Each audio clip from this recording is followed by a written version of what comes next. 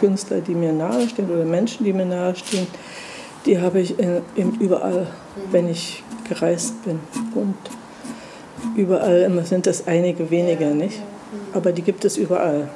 Und die suchen, und manchmal haben die sogar ein ähnliches Problem oder eine ähnliche Idee gerade.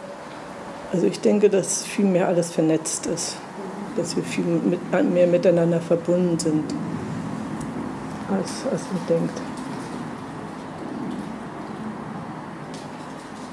Man muss eine abstrakte Idee haben, sonst hat das Menschenbild kein, äh, ist das alles lächerlich, nicht? Man kann ja keinen Menschen, man ist ja kein Schöpfer. Man ist ja nur einer, der eine Idee davon schafft. Abstraktion ist für mich in jeder gestalteten Arbeit. Das ist das Gerüst, weshalb die Sache gut ist. Und äh, Abstraktion, eine gute Abstraktion auch in der Kirchenplastik oder in guten alten Figuren oder Bildern, ist immer ein abstraktes.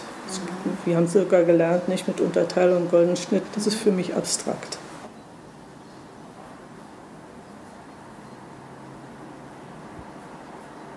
Mit 16 war ich in Peć mit der Kunsthochschule, Budapester Kunsthochschule, und da habe ich gemalt.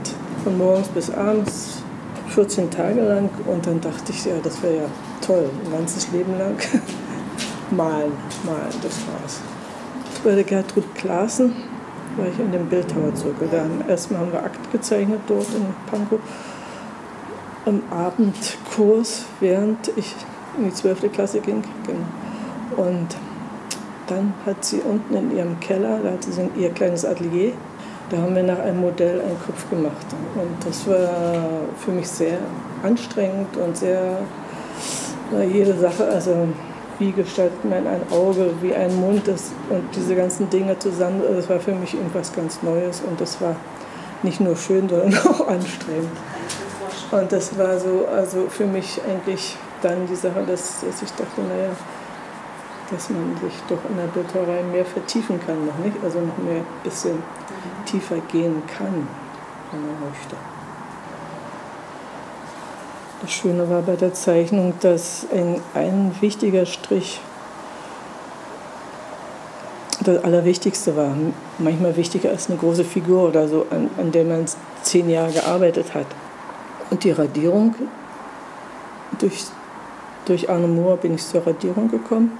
Bei dem habe ich im Grundstudien gelernt, wie man Platten vorbereitet, die, den Grad feilt und, und wie man druckt und alles Mögliche. Und für mich blieb dann die Radierung das Einzige, wo ich alleine zu einem Ergebnis kommen kann, ohne dass mir jemand reinredet. Und das ist, durchzieht mein Werk, weil ich eine Idee dann auch vielleicht fünfmal habe oder dreimal oder viermal, nicht einmal und weg ist. Und sie, ich habe sie im, in meinen Zeichenschränken und ich sehe sie und bei mir entwickelt sich eine Figur oder eine Idee für eine Skulptur langsam über die Jahre und ich brauche immer den Rückhalt oder die Ermahnung, vielleicht von einer Radierung oder von einer Zeichnung. Eine Zeichnung verbleicht ganz schnell, eine Radierung habe ich fünf, sechs Mal. Ja. Wichtig sind mir auch diese Grafiken von der Cia Maria, die ja. du sehr schön ja. präsentiert hast und den, den kleinen Figuren, die ich leider nur dazu geschafft habe.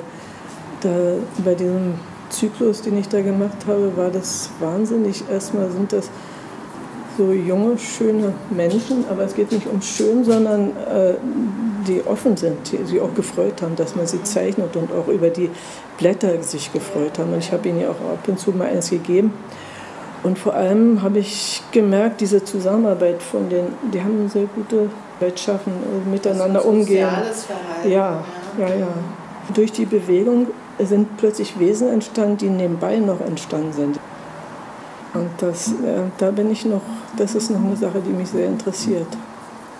Sie haben Maria auch weiterzuarbeiten. Ja, diese Art, dass da was entsteht, dass da was Geheimnisvolles entsteht es ist schön, dass das so angenommen wird und, und auch zurückkommt, nicht? Es ist für mich auch ein Anstoß, an diese Sache nochmal ranzugehen. Ja. Vielleicht schaffe ich auch noch was also eine Figur oder mal sehen.